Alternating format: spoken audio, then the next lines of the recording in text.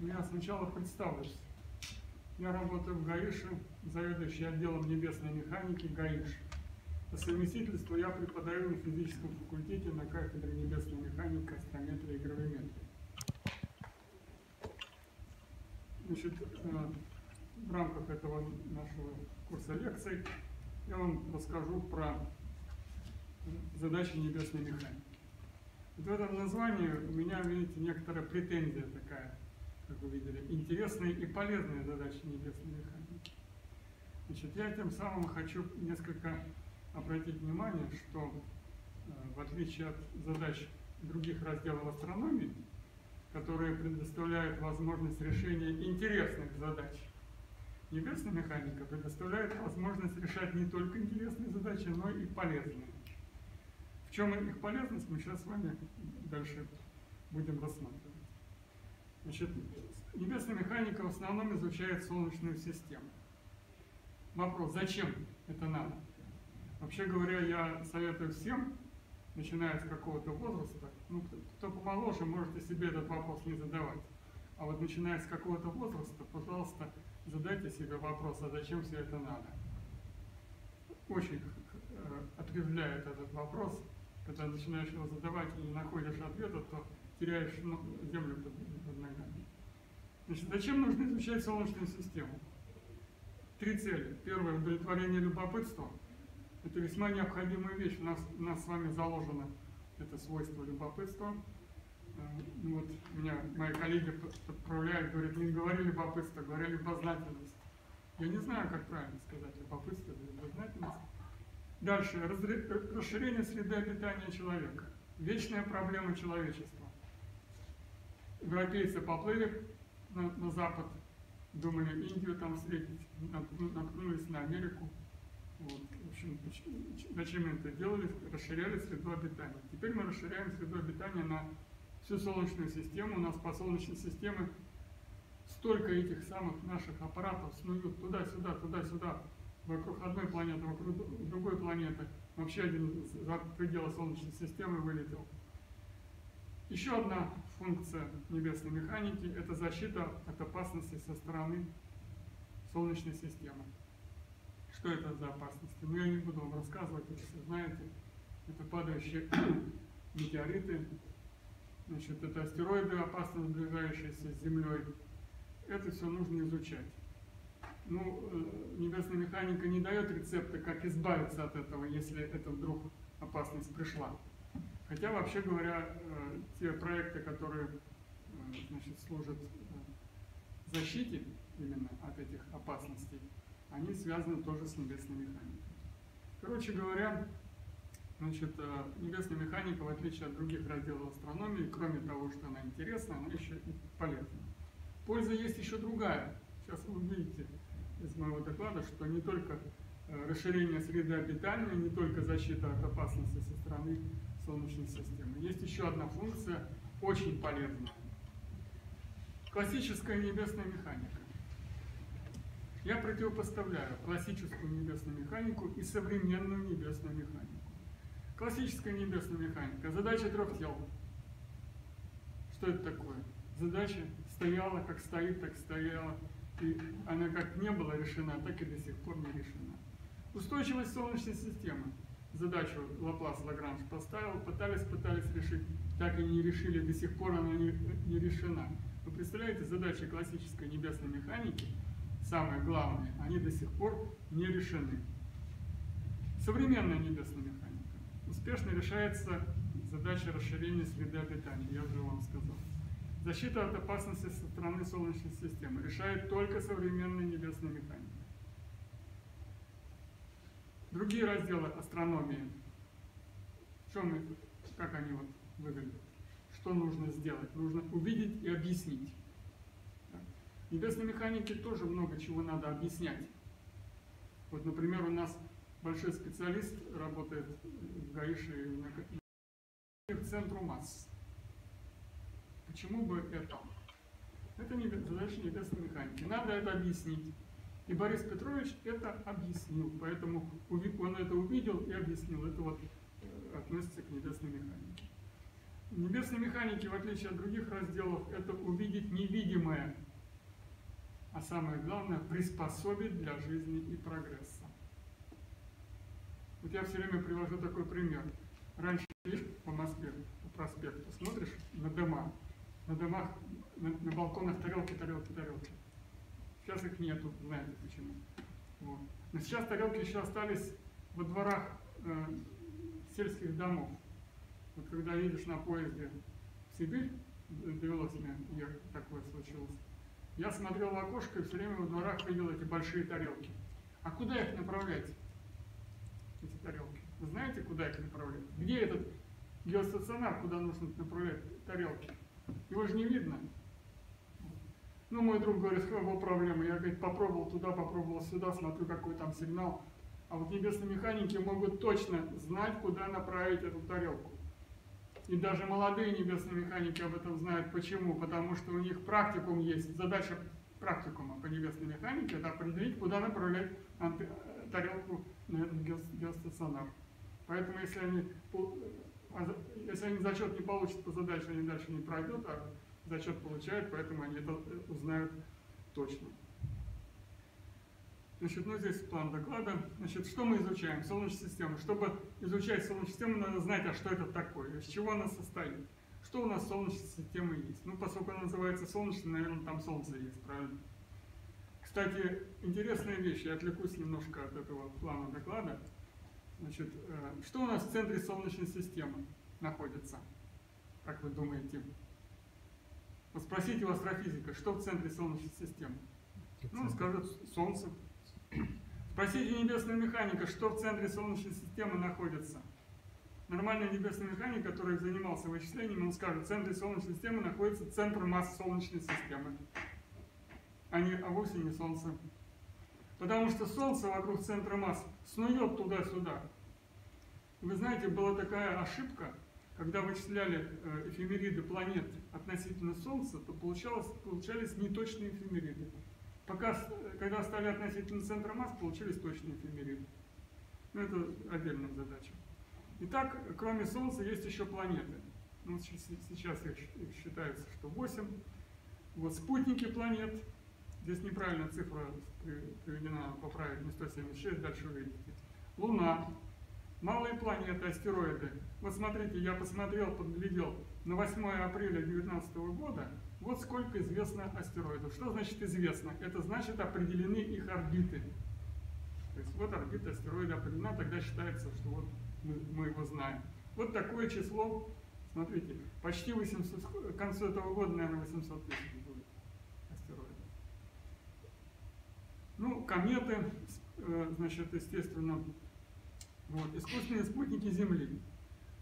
Ну, есть метеорологические низколетящие, чтобы пофотографировать облака поближе. Вот геодинамические, навигационные, навигационные, знаете, как это, ГЛОНАСС, это значит, GPS, спутники, другие системы, геостационары. Вот все эти спутники, они все, э, чтобы их рассчитать, их движение, вообще говоря, эксплуатировать, нужна небесная механика. Без небесной механики вы ничего не сможете с ними сделать. А вот именно эти спутники дают нам удобства. Какие удобства нам дают спутники? Ну, смотрите, навигационные, у каждого в кармане смартфон, да, включил сразу, посмотрел, где ты находишься. И вы что думаете, что ваш смартфон определяет ваше положение относительно Москвы? Ничего подобного. Ваш смартфон определяет свои координаты относительно навигационных спутников, а вовсе не относительно Москвы. Это там потом вычислениями достигается, что вы определяете свое положение относительно той дороги, по которой вы едете. Вот эти удобства составляют. Значит, навигация, э, ретрансляция телевизионного сигнала с помощью искусственных спутников Земли происходит. Никуда без них не денешься. Вот откуда еще польза, кроме расширения среды обитания и защиты от сил, природы. Ну, вот здесь приводится, чтобы люди примерно представляли себе масштабы я своего внука спрашиваю, сколько километров до Луны? Не знает, я говорю, стыдно, не знаю, сколько километров до Луны. Я своих студентов четвертого курса приходят ко мне, я спрашиваю, сколько километров до Луны? Не знают. Вы знаете, сколько километров до Луны? 370. Сколько? 380 тысяч. Зависит от 300 фазы. 380 тысяч примерно. А до Солнца сколько? 150 миллионов. 150 миллионов километров. Вот запомните, хотя бы расстояние до Луны до Солнца, вы должны знать. Вас кто-нибудь спросит так вот, э, даже не астроном, скажет, сколько километров до Луны, а вы не знаете вообще. Вот. Здесь написано, что самый далекий об- объект на расстоянии у нас 7 астрономических единиц. Немножко устарело. Я сейчас имел дело с астероидом, который на расстоянии 107 астрономических единиц. То есть еще дальше. Ну, пойдем дальше. Значит, астероиды кометы, но здесь вот количество их. Ой. Значит, ну, я думаю, что не стоит здесь особенно останавливаться на этой таблице. Вот. Троянцы, знаете, что такое троянцы? Группа. Название красивое, да, троянцы. Вот. Ну, на- На орбите Юпитера группа. ну, вообще-то говоря, не обязательно знать, что это за троянцы там. Это э, астероиды, которые сорбитальные спутнику, э, Юпитеру или сорбитальные Сатурну. То есть на, на той же самой орбите под 60 градусов вперед по, по движению, 60 градусов назад. Вот там они скопились, эти, эти троянцы. Что они там делают, эти троянцы, что они там скопились, э, они сами не знают, там есть такая задача, еще Лагранж решил, э, значит, частные решения задачи трех тел есть, э, точки вибрации, вот они там в этих точках вибрации скопились. Вот. Ну, кентавры есть, это так одна часть комет, пол, пол, пол тела кометная, половина ас- астероидная, вот, кентаврами назвали. Так, спутники планет. Вот здесь правильная цифра приведена, это на сегодняшний день 189 спутников планет. Казалось бы, ну такие малозначительные тела. Вот планеты это большие, там все такое, вот, их э, орбиты изучали еще давно, а вот спутники какие-то такие малозначительные. Ну подумаешь, там у планеты есть спутники. Спутники гораздо важнее, чем планеты на самом деле. Почему они важны? Они важны, по крайней мере, без спутника вы массу планеты не определите никак. Ну, говорят, там по взаимному влиянию планет, еще Лагранж там определял, Лаплас, очень неточно. А вот по спутникам масса планет очень точно определяется, только благодаря спутникам. Это раз. Но еще спутники имеют значение чисто вот для расширения среды обитания. Дело в том, что на Юпитер вы не посадите никакой аппарат. Попробуйте посадить на Юпитер. Ну, ваши все смартфоны там раздавят гравитация. Ни один смартфон там не выдержит на Юпитере. Тем более сесть очень трудно на Юпитер.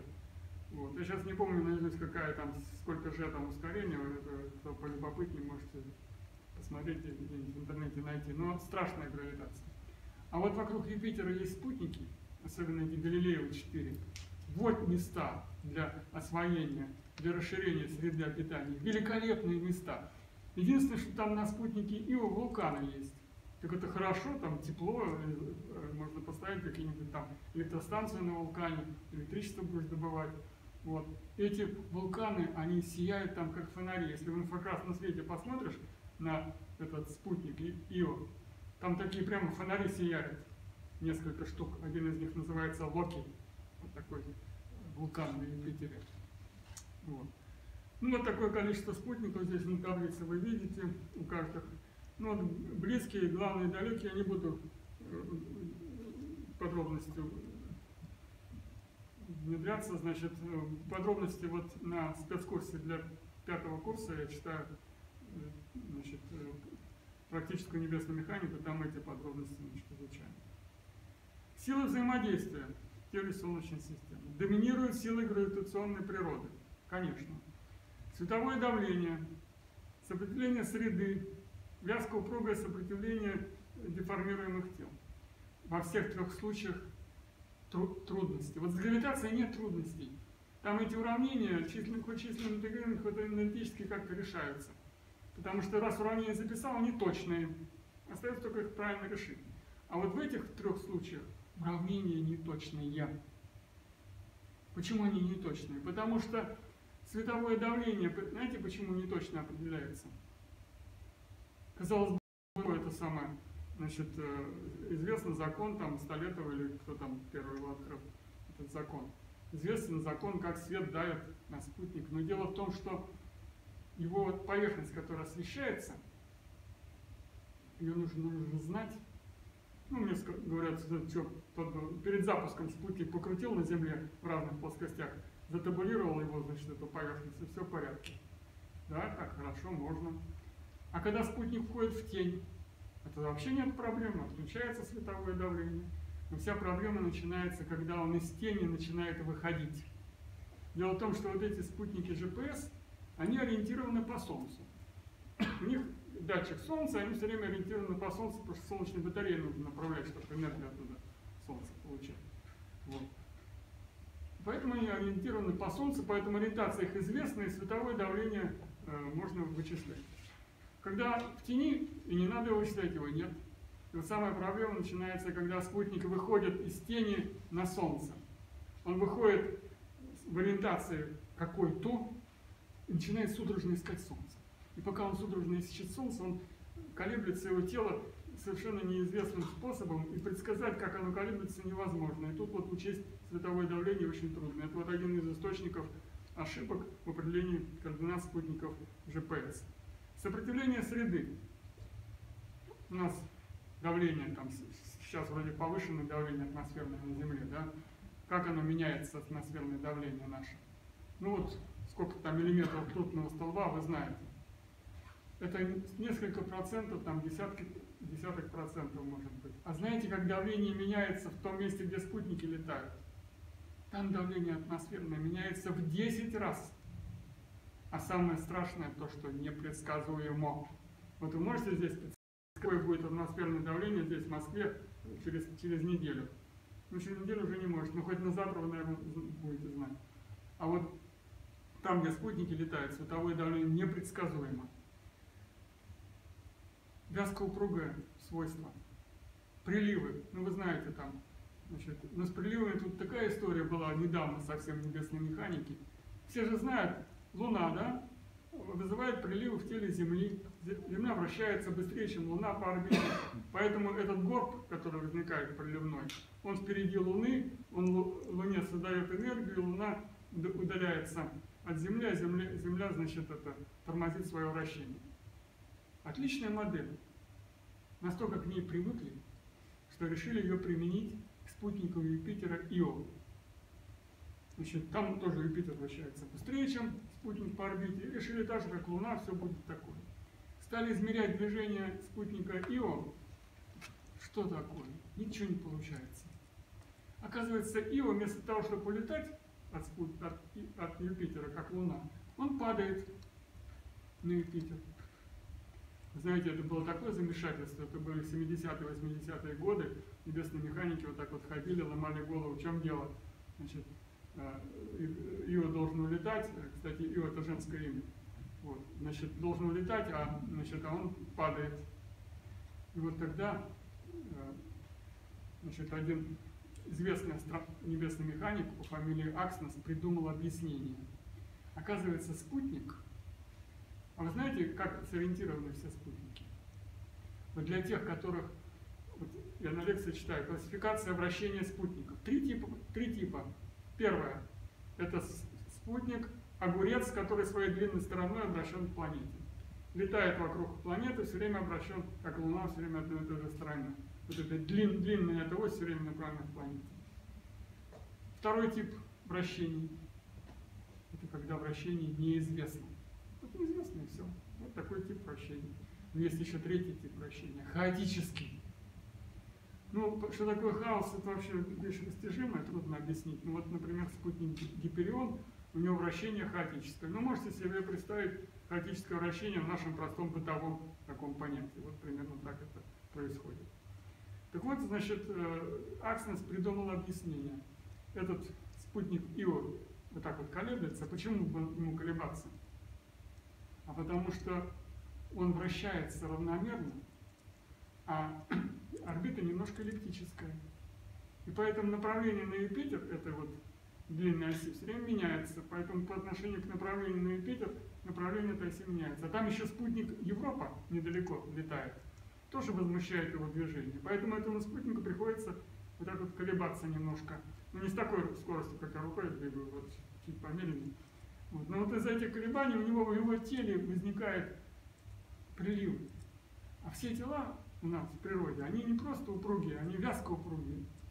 И вязкость вызывает диссипацию энергии. Поэтому оказалось, что спутник Юпитера Ио теряет энергии из-за диссипации у себя внутри больше, чем он приобретает от прилива в теле Юпитера, и поэтому падает на Юпитер. Вот такая интересная штуковина. Значит, меня спрашивают, ты какую модель используешь в своей небесной механике? Я говорю, использую законы Ньютона. Да ты что, говорит, уже давно общая теория относительности открыта. Вот, а ты все еще используешь это э, притяжение Ньютона. Я говорю, ну ладно, ладно, значит, мы и общую теорию относительности используем. Только небесные механики как-то смотрели на эти уравнения Эйнштейна. Ужас какой, ну невозможно их решать совершенно. И поэтому небесные механики придумали приемчик такой, простенький приемчик. Они решили, есть некоторые э, воображаемые силы непонятной природы, которые действуют на движение небесных тел. Обозвали эти, э, эти э, значит, силы силами, эффектами общей теории относительности. То есть придумали некий эффект, который действует точно так же, как действовало бы какое-то там возмущение от какой-то там планеты или от там атмосферы, еще чего-нибудь. То есть, то есть небесные механики взяли свою э, инструмент, свою теорию возмущений, придумали некие, некие вымышленные возмущающие силы, но они их описали довольно хорошо. И оказывается, что эти возмущения от этих вымышленных сил действуют так же, как отличие общей, относительности от э, теории Ньютона. Великолепно работает везде, даже вот в случае ЖПС, в случае там э, межпланетных перелетов, великолепно это работает, нет проблем. Так, во все времена основными задачами небесной механики были, знаете, какие? Геодезия и навигация. Вот это породило небесную, практическую небесную механику. Самый главный в мире институт небесной механики в Париже, знаете, как он, когда его э, в, э, в 1795 году создали этот институт, и он назывался Бюро Долгот. Причем тут Долготы, а? Какое отношение к небесной механике? Вот главный институт небесной механики назвали Бюро Долгот. Почему? Потому что две задачи поставила эта республика, тогда это была временная республика во Франции. И правительство этой республики собрало умных людей и говорят, вот у нас две задачи. Первое – землемерение на территории нашей страны, Франции. А второе, мы, говорит, мореплаватели, нам навигация нужна. Поэтому обеспечьте нам навигацию и значит, землемерение во Франции. Вот поэтому возник институт Бюро Долгот. Вот это здание этого института. Ну, это половина это башня, а половина это здание этого института. Но институт тут занимает э, второй, третий пятый этажи вот в этом здании. Сразу не видно. Значит, он занимает второй, третий и пятый этажи. Так исторически сложилось. Значит, классики небесной механики на Эйфелевой башне. Если вы там поищете, вы не найдете ни одного имени астрофизика. Почему?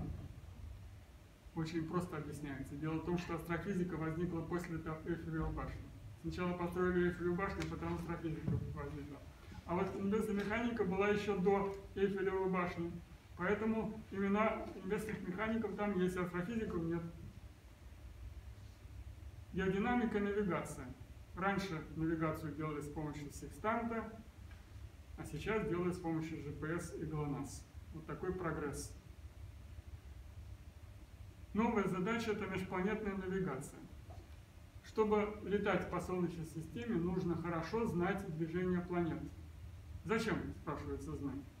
А потому что нужно точно рассчитать этих. Э, горючего-то на, на корабле мало, и поэтому надо его расходовать экономно, а чтобы экономно, нужно вот маневр совершил и сразу полетел прямо к Марсу. А если чуть не точно рассчитал координаты Марса, при подлете нужно снова включать движок и корректировать свою траекторию. Надо тратить горючее. Поэтому, чтобы поменьше потратить горючее, надо поточнее вычислять координаты. Поэтому значит, нужно вычислять координаты планет как только можно точно. Вот эта задача решается, естественно, методами небесной механики на основе астрометрических наблюдений. Источником всех наших знаний от Солнечной системы является что? Конечно же, наблюдение. Никакие идеи или теории не могут быть источником знаний. Это только методы. Все говорят, о, я, говорит, новые знания принес в науку, я придумал новую теорию, новую идею. Ничего подобного, ничего не принесли, вы только методы принесли. А новые знания приносят только наблюдение. Куда глядят астрономы? В 19 веке смотрели телескопы, в 20 веке в микроскопы, почему вы знаете, не буду рассказывать. В 21 веке глядят в компьютер, естественно. Вот это я гляжу в телескоп, это 2002 год. Что думаете, я наблюдение веду? Ничего подобного, никаких наблюдений, это вообще днем происходит. Значит, купол закрыт, а там вот э, еще фотография рядом, чем я занимаюсь, это жидкий азот закачиваю туда, в эту камеру. Это никакие не наблюдения, хотя я гляжу там куда-то. А вот это вот наблюдение. Ночью за компьютером, видите, там два компьютера одновременно. Что мы измеряем? Мы измеряем координаты нашего небесного тела по отношению к звездам. Есть и другие типы измерений. Например, э, время э, движения фотона туда-обратно. Скажем, на Луне есть уголковый отражатель, мы пускаем импульс света, измеряем, сколько времени он летел туда-обратно, таким образом вычисляем расстояние до Луны. Радиолокация поверхности Венеры там, или Марса. Вот такие измерения. Значит, ну и вот э, доплеровские измерения, частоты радиосигнала, которые приходят со спутника. Вот такие измерения происходят. РСДБ, радиоинтерферометрия со сверхдлинной базы, разница во времени прихода э, значит, сигнала по времени два телескопа, расположенные далеко на Земле друг от, друга. И вот очень интересная вещь. Косвенные наблюдения положения небесных тел. Значит, взаимное покрытие затмения спутников. Вот так как здесь показано, значит, спутник на фоне планеты, э, не на фоне планеты, э, размеры несопоставимые, на фоне другого спутника. То есть два спутника, их диски летят, летят, летят и начинают пересекаться. Если они еще не успели пересечься, то у нас свет, вот, вот этот уровень. А как только они начали пересекаться, часть диска заслоняется, поэтому происходит спад звездной величины. Этот спад можно измерять. Знаете, есть такие переменщики. Это люди особого сорта, они умеют звездные величины мерить без всякого фотометра, точнее всякого фотометра. Вот. Так вот, значит, если мы будем измерять звездную величину этих спутников, то мы можем э, по измерениям спада яркости можем определять позиционную информацию добывать. И здесь что интересно, что обычно там хотят резкость навести в телескопе, да, чтобы получше видеть. Здесь фотометристы наоборот, чтобы поточнее мерить, они из резкости выводят. Представляете, что когда из резкости выйдешь, там оказывается фотометрия точнее делается. И вот по этой фотометрии можно получать позиционную информацию. Ну, дальше подробнее расскажу. Значит, методы построения модели. Значит, смотрите, самое главное это модель движения. Момент времени туда заталкиваем, оттуда выпадают координаты. Но мы можем в качестве момента времени туда затолкать момент наблюдения. Что выпал, оттуда выпадет? А та самая величина, которую мы измеряем.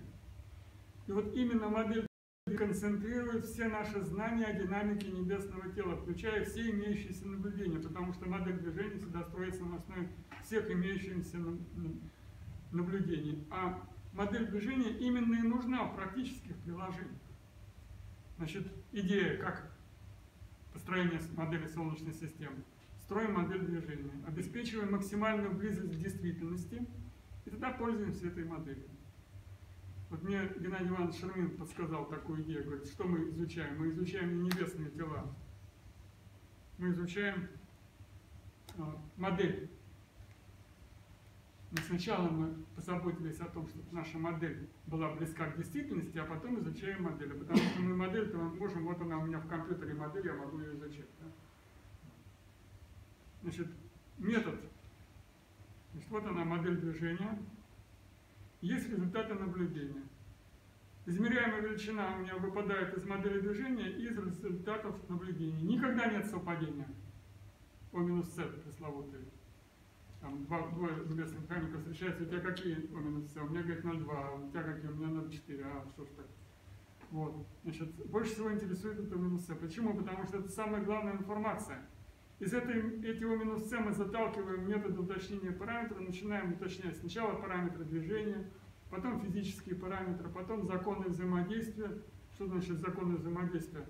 Это вот это, Ньютонова механика или механика Эйнштейна. А еще можно открыть небесное тело. Этот Леверье открыл аж большую планету, он открыл Уран, значит, каким образом? Наблюдал очень тщательно Нептун, ой, то есть Нептун открыл, изучал Уран, смотрит, Уран не так движется, как должно быть по его теории. Добавил туда воображаемое небесное тело, у него все сошлось. Тогда он говорит своему знакомому наблюдателю, погляди-ка вот туда, там планета должна быть. Ну, поглядел, а, да, действительно планета там, вот так открыли уран. Так что открытие можно делать. Вот. Значит, вот э, чем чревато это, это, эти методы. И вот здесь очень важна такая вещь, которая отличает небесную механику. Вот если вы имеете измерение долготы орбитальной в двух местах по времени, извините, вот, то, вы, то период предсказания вперед будет иметь вот такую точность, это точность эфемериды. Если вы начинаете продолжать наблюдение с той же самой точностью, сейчас, извините, вот и так, и так, вот смотрите, продолжаем наблюдать, наблюдать с той же самой точностью. Мы не ждем от инженеров более совершенной техники, мы наблюдаем с помощью того же самого телескопа. Посмотрите, как точность эфемериды улучшается. Только благодаря тому, что мы начинаем, продолжаем э, наблюдать. А вот еще что происходит. Это от, точности наблюдения. Если точность наблюдения низкая, то вот эти О минус С, как говорят, шум. Ничего тут не видно. А если точность повысишь, смотришь, ага, тут что-то такое есть. А если еще поточнее померить, там вообще как синусоиды. А синусоиды, значит, уже какие-то там возмущения, можно искать причину, может там еще какая-то одна планета летает. Вот. А вот еще интересно, значит, если у нас есть наблюдение вот на таком интервале времени, видим там кусок, да? Вот, то, смотрите, никакой информации. А если мы продолжаем наблюдение, это этот же кусок вперед. А еще можно продолжать наблюдение назад. И меня спросите, как это можно продолжать наблюдение назад? Можно. Значит, так и делают небесные механики. Они когда эфемериды назад посчитают, они идут в стеклянную библиотеку и ищут там эти самые фотопластинки старые, и находят там небесные тела. Поэтому наблюдать можно и назад по времени. И вот если наблюдать по времени назад и вперед, то мы смотрим, а, смотри-ка, тут парабола. А раз парабола, все, это значит диссипация, потому что ни одна сила гравитационной природы без диссипации не может параболу здесь вызвать. Вот так открываем, делаем открытие. Ну, есть еще специальные задачи, это координатно-временное обеспечение наземных и космических навигационных служб. Вот здесь как GPS устроена система ГЛОНАСС. Ну, я не буду сейчас, уже многое рассказываю, значит, по времени. Значит, можно остановиться на этом. Вот так. Значит, э, ну, все-таки два слова скажу здесь. Значит, модель движения, опять, видите, в центре у нас модель движения спутника. Э, в эту модель и координаты опорных пунктов, параметры вращения Земли, модель земных приливов, сколько всего содержится в этой модели. Но самое главное это наблюдение. Так, давайте мы пойдем дальше. Вот очень интересная вещь. Значит, про ГЛОНАСС это, GPS это, как и так все знают поскольку у нас смартфоны в кармане вот, пользуемся. А вот интересная задача. Значит, э, решили узнать, что было с Солнечной системой 60 миллионов лет назад. Ну, небесный механик такой, э, Жак Лескар, э, значит, решил проинтегрировать уравнение движения Солнечной системы назад на 60 миллионов лет. А там, значит, нужно учитывать одновременно вращение небесных тел, особенно Земли, и орбитальное движение совместно, отдельно не получается. Вот. А вращение зависит от сжатия Земли, динамического сжатия Земли, естественно, так? Сегодня-то мы знаем сжатие Земли динамическое. А Жак Лескор подумал, ха-ха, сегодня-то да, такое сжатие, а какое оно было 60 миллионов лет назад, никто не знает. И он пошел, знаете куда? К ге- геологам. Покопайтесь там в недрах Земли и узнаете, какое было, значит, это э, сжатие Земли по своей геологии вот 60 миллионов лет назад. Ну, э, геологи подумали, подумали, говорят, хорошо, мы вам скажем, только вы так сначала нам скажите, как тогда э, вращалась Земля. Я скажу, так я хочу узнать, как вращалась Земля, зная, какое было сжатие Земли. Нет, говорит, а мы должны знать, как тогда вращалась Земля. Завязалась эти две задачи, значит, геологическая и, и астрономическая. Значит, нужно совместно решать, как вращалась Земля и как там менялось ее, ее, ее сжатие. Это знаете, что такое? Не догадываетесь? Это вид Эйфелевой башни, вид снизу. Вы где-нибудь в гугле нашли? Найдете такое? Нет. Там в гугле есть вид Эйфелевой башни и сверху, и сбоку, и откуда угодно, а вот снизу нет. Ну, приходите, я вам скопирую. Вот это днем. А это, а это, ну, это ночью, это днем. Вот так выглядит Эйфелева башня снизу. Так, у меня как со временем? 15. До 2.15, да? Не-не-не, до 15 часов. А то есть еще минут 15 я могу, есть у меня, да? 45 Нет, минут еще еще. 45 минут. нужно. А, отлично. Не, ну я не хочу вас надоедать. Э, Это слишком много, полтора часа слушать. Ну что. Я скоро закончу. Значит, вот интересная задача тоже. Значит, э, как определяется масса тел? Ну, я спросил так у знакомых своих по науке, по астрофизике, говорит, вы проблему массу определить. Померил звездную величину, перевел ее в абсолютную, вот, и вот тебе масса. Я говорю, как масса? Это яркость. Ну, никаких проблем. Значит, я взял, говорит, э, гипотезу об альбедо, вот, получил размер, а потом еще гипотезу о плотности вещества, получил массу. Вот и все проблема. Но оказывается, и альбедо, это чем покрашен спутник, он может быть пок- покрашен астероид белой краской, а может быть черный, тогда разный размер будет при одной и той же яркости. А сделан он может быть из пенопласта или там из э, свинца, тоже будет разная масса при том же самом размере. Вот эти гипотезы принимаются, они страшно смелые. Им, им нельзя верить. Вы так можете ошибиться в несколько раз. Ну, в астрофизику, может быть, такая точность в несколько раз устраивает, а небесных механиков точно не устраивает. Там, если девятый знак не сходится, небесных механиков это катастрофа. Это я доклад тут слушал, значит, там, это величина 10 в 21 степени или 10 в 23 степени. Ну, а у нас, значит, вот небесной механики, если в девятом знаке что-то не сходится, это вообще проблема. Так вот, значит, нужно знать точно массы. А, И вот э, массу можно определить по взаимному притяжению небесных тел. Ну, раз они друг на друга влияют, значит, из-за массы происходит. И вот давно, еще в 2005 году, я значит, занялся такой задачей. Вот есть два спутника вокруг Юпитера, Гемалия, массивный спутник, и два других спутника. Гемалия их притягивает. И вот можно было бы поизучать движение этих двух спутников, чтобы узнать, как Гемалия притягивает. И определить массу. Вот уж точно масса, никаких гипотез не надо. Случайно мне удалось это сделать, получилась вот такая масса 0,40, э, 0,28, а если вы справочнике полезете, вы там увидите значение 0,45. Что интересно, что э, значит, мои последователи, американцы, Джекобсон и Марина Бразович, они, это я сделал, знаете, когда, в 2005 году. Они в 2012 году повторили этот результат на основе более совершенных наблюдений, больше наблюдений взяли, и они получили тоже 0,28. А если вы сейчас полезете на сайт GPL, это такой Институт небесной механики американский, на сайт, то там до сих пор, я недавно посмотрел, думаю, наверное, они исправили, ведь американец Джекобсон получил, что должно быть 0,28, а у них там до сих пор 0,45 торчит. На самом деле 0,28 получается. Вот это было впервые сделано для далеких спутников планет. И что жалко, что мне вот это удалось сделать для Гемалии, больше не удалось ни для одного спутника это сделать. Они слишком слабые, слишком плохо влияют. И знаете почему, благодаря чему мне удалось это сделать? В 1949 году один из спутников очень близко приблизился к Гемалии. Случайно.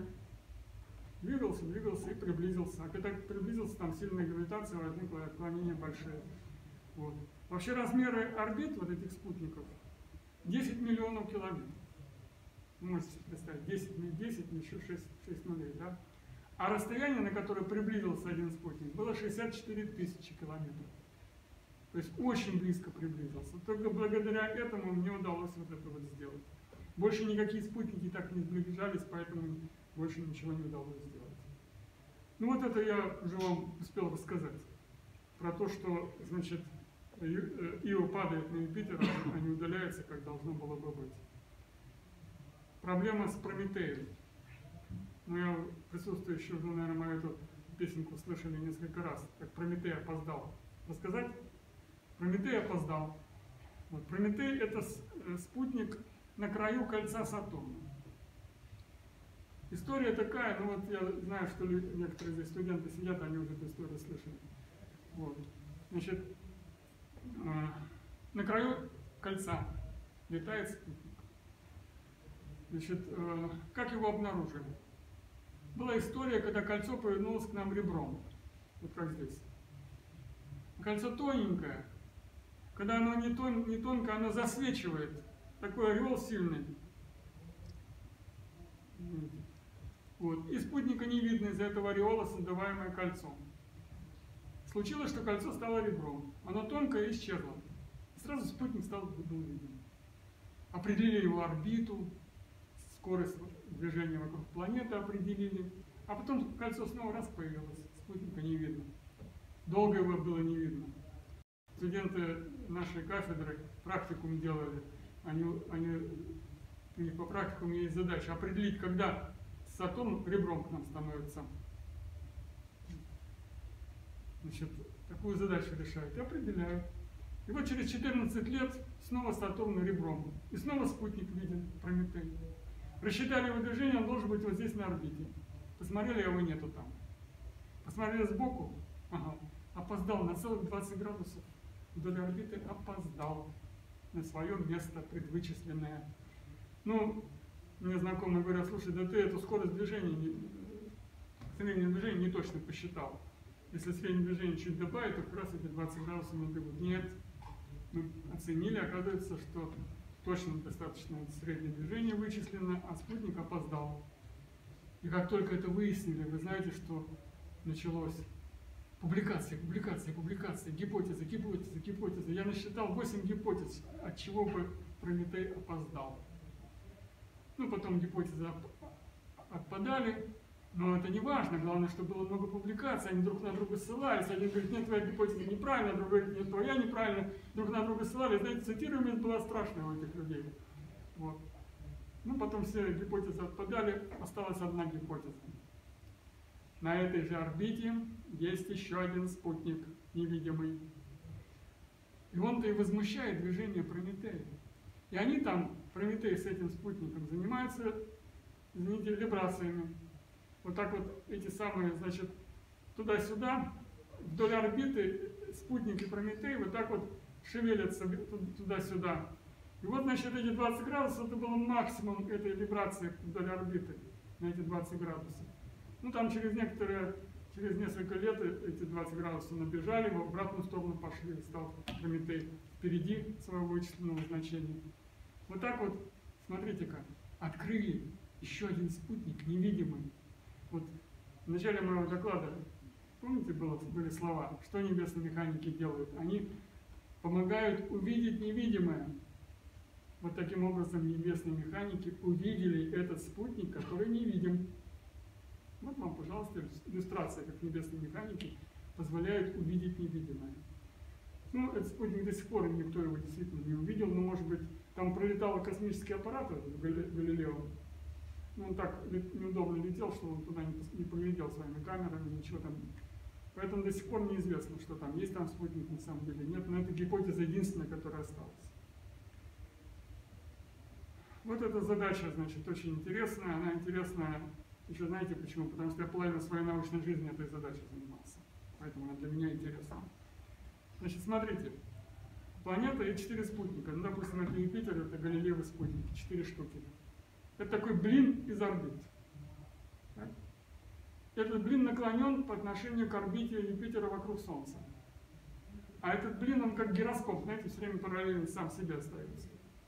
И поскольку он наклонен, то два раза за период обращения планеты вокруг Солнца этот блин становится к нам ребром. И не только к нам, но еще к Солнцу ребром.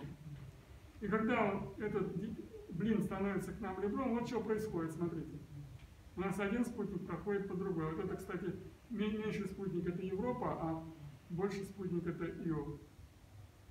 Ну и что происходит здесь? А еще что происходит? Один спутник тень отбрасывает на другой. Видите как? Тень от одного спутника на другой. И вот если это происходит, то мы имеем спад суммарного светового потока. Естественно, зависит от координат спутника. Поэтому мы здесь получаем позиционную информацию из фотометрии. Вот видите, как такие кривые получаем. Вот. Ну, здесь много всего рассказано. Значит, факт тот, что эти, эти события происходят, так называют события. Они редкие. Для спутника Юпитера это раз в 6 лет наступают эти события. И они происходят там в неделю 3-5 событий, ну иногда до десятка событий в неделю, но самое главное, что они начинаются в совершенно определенный момент времени. 15 минут спад, через 15 минут снова вернулась яркость на свое прежнее состояние. В эти 15 минут надо делать фотометрию. Знаете, что я обнаружил? Наблюдатели так привыкли, что переменные звезды светят всегда, и можно ночью попил чайку, пошел, понаблюдал свою переменную звезду, потом, вот когда хотел, тогда и пошел, понаблюдал. А здесь, вы знаете, когда я взаимодействовал еще в 2000-х годах с наблюдателями, оказывается, очень часто они просто прозевали. Я им дал эфемериты, говорю, вот такое-то время нужно открывать затвор, мерить. Я говорю, ну что, пронаблюдали, ой, ты знаешь, мы опоздали, мы собирались, собирались, значит, и когда пришли на телескоп, уже событие кончилось. Значит, и смотрите, каждое явление наблюдаемо только на 30% обсерваторий. Сейчас, извините, я...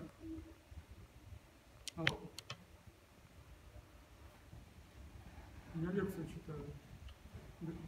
Давайте через 20 минут. Извините. Вот, вот здесь все это описано на этом слайде. И поскольку каждое явление наблюдаемо только на 30% обсерваторий на Земле, то надо ухватить как можно больше этих явлений пронаблюдать. И поэтому организуются международные кампании наблюдений этих явлений. Парижский институт небесной механики, он сейчас называется Институт небесной механики вычисления эфемерид. Раньше он назывался Бюро долгов. Вот они организуют эти кампании. Значит, наблюдатели 70 примерно обсерваторий наблюдают, половина из них любительские, любители, все на балконе поставили телескоп, наблюдают, прикрутили этот цифровой фотоаппарат обычным телескопом, видео сняли, вот, наблюдают. И данные все приходят, знаете куда? Они приходят к нам, гаишь, ко мне в компьютер. Все эти данные приходят ко мне в компьютер, значит, я их обрабатываю, и получаю вот эту позиционную информацию. Организуют французы. Если бы я организовал, вряд ли 70 обсерваторий бы участвовали. Вот. А французы организуют, значит там вот 70 обсерваторий участвуют. Но это наблюдение оттуда прямиком мой компьютер сюда в Гаишу, в 77-ю комнату. Я там произвожу обработку, получаю позиционную информацию, то есть координаты, взаимные координаты спутников я вычисляю, готовлю публикацию, и поскольку эти координаты получены из наблюдений этих 70 обсерваторий, и авторы наблюдений это около 200 человек, то в этой статье, я там где-то второй или бываю первый автор, а у меня 200 соавторов. И статья опубликована в высокорейтинговом научном журнале Astronomy and Astrophysics. Я всем говорю, хотите, чтобы у вас была цитируемость? Берите телескоп скромненький, можно 7 сантиметров диаметром. Прикручиваете цифровой фотоаппарат, снимаете видео, пускайте программки есть на лазерных дисках, вы можете купить, по крайней мере, во Франции уж точно можно купить лазерный диск с программой, которая обрабатывает эти видео и получает кривую блеска. Кривую блеска вы присылаете мне, я ее обрабатываю и обязан вас включить в число соавторов. И вы являетесь соавтором высокорейтинговом научном журнале, вас цитируемость есть. Поэтому хотите цитируемость иметь, вот, наблюдайте. Как-то не очень, значит, не хотят цитируемости. Вот. Вот это все происходит. Э, Очень интересно это дело вся, потому что это международное сотрудничество, это э, взаимодействие людей из разных стран. Около, около 20 стран, из 20 стран наблюдатели шлют нам наблюдения. Вот. Значит, причем были такие казусные ситуации, когда наблюдение моему другу этому во Франции присылают наблюдатель. Куда они присылают? Естественно, во Франции, не какому-то там Емельянову они присылают, вот, в Париж. Вот. А этот мой друг, он эти по e-mail присылает, он мне прямо швыряет эти e-mail, форм делает мне. Я начинаю обрабатывать, смотрю, либо что-то перепутано в данных, либо не хватает данных. Я ему пишу, слушай, вот там из Бразилии мне прислали наблюдение, там вот не- они непонятно какой спутник наблюдали, спроси их. Он пишет бразильцам, бразильцы им отвечают, а мне присылают. Несколько лет назад мне эта история надоела. Я что сделал? Я на сайте Гаиша страницу завел, как вот, ну, не знаю, аналог, вот, если истину считать, то вы в истине там свои статьи прискаете, а здесь вы свои наблюдения. То есть страница, там окошки, прискаете туда свои наблюдения. Они сразу оказываются в моем компьютере, вот, а, а они не сразу ко мне поступают в компьютер. Моя программа смотрит, все ли там в порядке. Если там чего-то не хватает, то мой софт прямо им обратно говорит на странице, ошибка. Тут тебе, вот ты забыл здесь поставить такой значок, надо поставить. И вот пока наблюдатель все правильно не сделает на странице, моя программа не принимает эти наблюдения. Поэтому теперь я имею всегда кондицию. Всегда наблюдения, пригодные к использованию. Когда они сразу поступают на мой сайт. Но я копию сайта сделал в Па- в Парижском институте, два. Вот их было. То есть хочешь присылай в Гаиш прямо, хочешь на парижский, но они сразу у меня оказывались. Вот. И люди присылали сначала охотнее на парижский сайт, но там случилась э, катастрофа. Значит, парижский весь веб-сайт упал, как говорят программисты. Два года, вы представляете, была катастрофа. Эти, как они называются, хакеры, да, взломали сайт, нарушили его работу, и французы только через два года восстановили функционирование этого сайта. Вы представляете, сейчас он уже работает. А это как раз была эпоха этих явлений. Ну и пришлось всем присылать не Париж, а нам Гаиш. Вот такая история, очень интересная, потому что я здесь занял был на все сто процентов.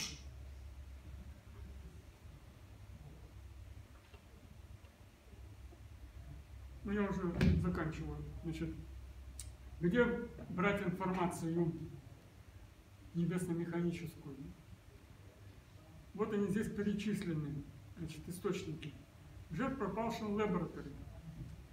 Говорят, переводится лаборатория радиоакти- э, этого реактивного движения. Не верьте.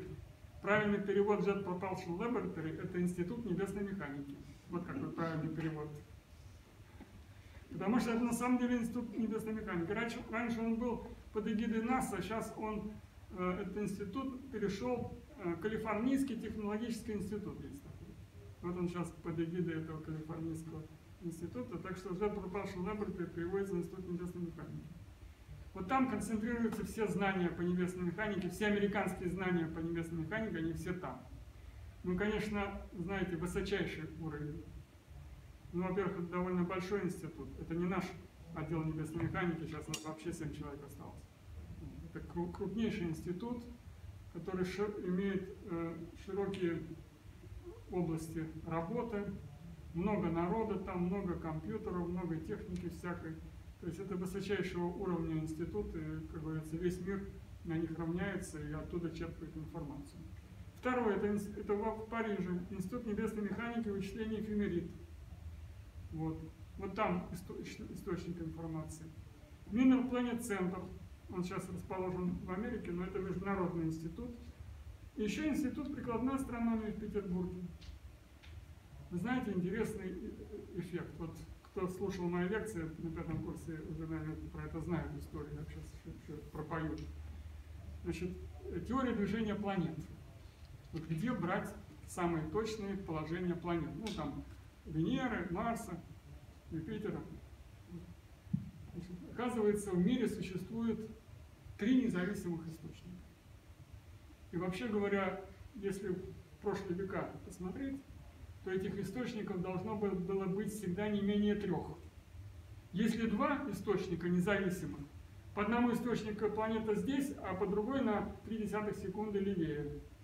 Спрашивается, где на самом деле планета? А вот если источника три, и два из них показывают, что вот здесь они близко, а другой стороне, ну вот тот, который в стороне, тот и неправильно. Поэтому всегда должно быть не менее трех. Были времена, когда их было больше. Там, до пяти было источников независимых. Сейчас их снова три. Первый источник это тот американский институт небесной механики, Jet Propulsion Laboratory. Второй это Парижский институт небесной механики вычислений Фемерит. А третий это в Петербурге есть одна дама.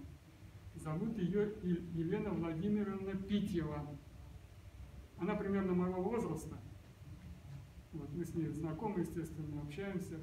Вот. Так вот, представьте себе, одна женщина создала теорию движения планет по точности и по совершенству, конкурирующая с этими двумя институтами мировыми.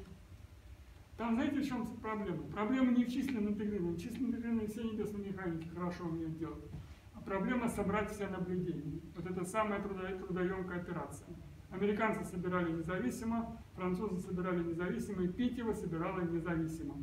Причем я знаю от нее, что э, 90% работы она сама все сделала. Потрясающе просто. Когда одна женщина такая работоспособная, в общем, все сделала то, то же самое, что делает целый институт. И вот, значит, Елена Владимировна Питева Петербурге. Вот. Вот таких три источника независимых у нас по теории движения планет.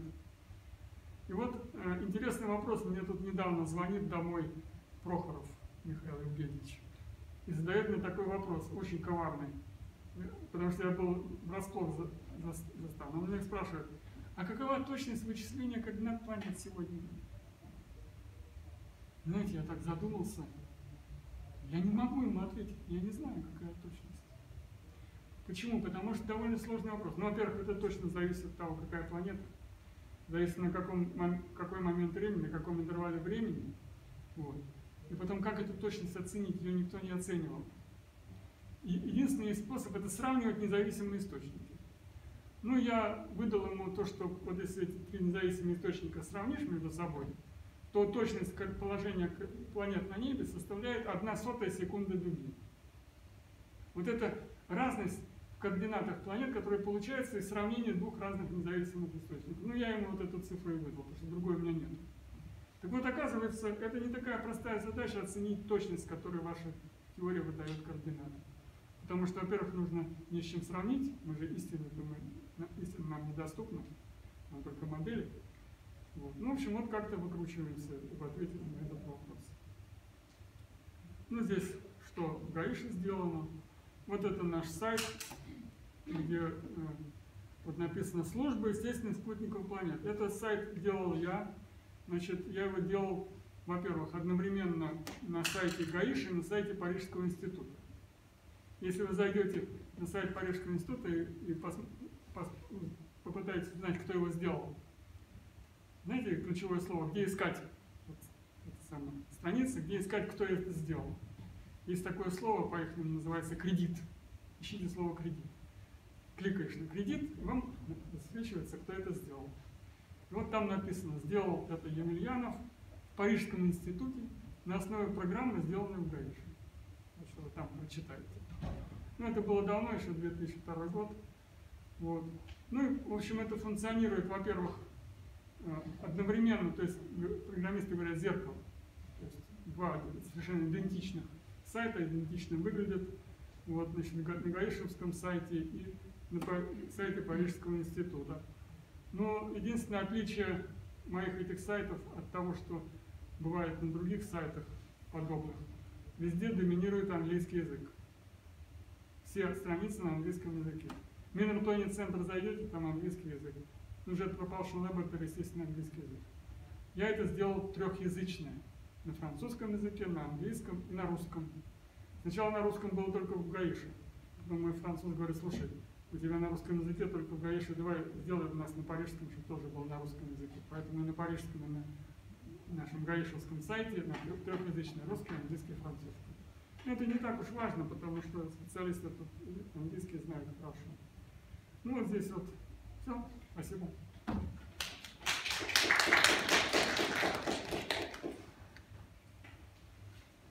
Ну что, нет вопросов? Тогда я пойду. Есть вопросы? Все очень интересно было. Спасибо большое. Только я скину. Так, я не копировал.